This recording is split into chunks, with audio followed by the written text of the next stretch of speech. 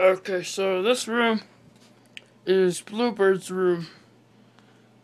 Uh, two of them sleep in here. Okay, I'll show you the other room.